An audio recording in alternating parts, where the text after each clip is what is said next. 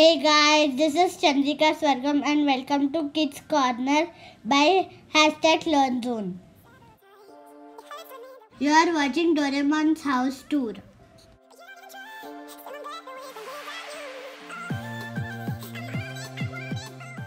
Ting tong. Hi Doraemon. Okay, I'm coming inside.